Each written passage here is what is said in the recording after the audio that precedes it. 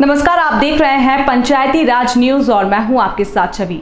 जनपद पंचायत किरनापुर में पदस्थ श्रुति चौधरी, मुख्य कार्यपालन अधिकारी जनपद पंचायत किरनापुर से नर्मदापुरम स्थानांतरण होने पर जनपद पंचायत किरनापुर के सभा हाल में आयोजित समारोह में शॉल, श्रीफल के साथ पुष्प गुच्छ एवं प्रतीक चिन्ह भेंट कर सम्मानित करते हुए स्नेहिल विधाई दी गई।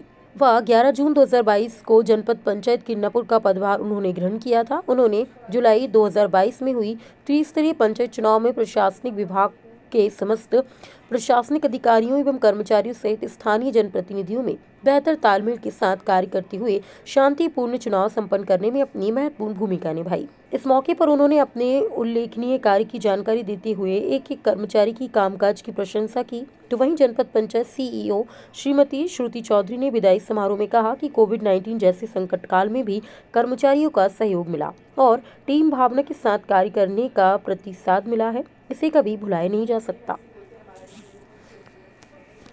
राम जी का भी स्थानांतरण हुआ है और आज हमारे बीच से इकतीस तारीख को दो लोग सेवानिवृत्त भी होंगे। एक लोग सेवानिवृत्त भी होंगे।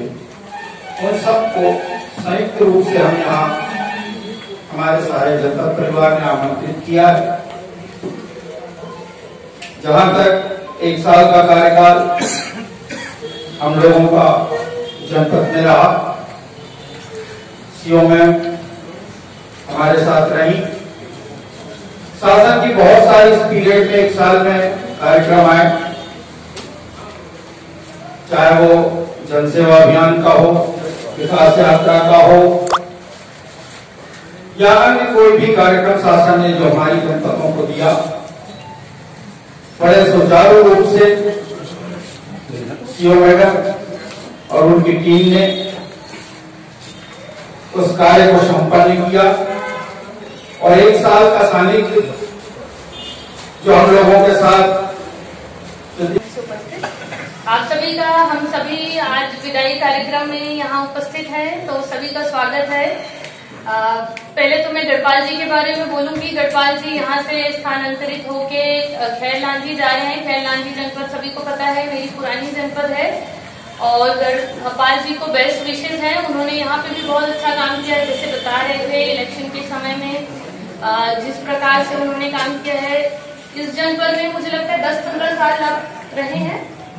बारह साल बारह से लगभग दस पदस्थापना उनकी ऐसे समय में एक जनपद को छोड़ के दूसरे जनपद में जाना स्वाभाविक है, थोड़ा उनके लिए मुश्किल होगा बट ठीक है, प्रशासनिक चीज़ है, प्रशासनिक व्यवस्थाएँ हैं, वो शासकीय कर्मचारी हैं तो स्थानांतरण लगा रहता है।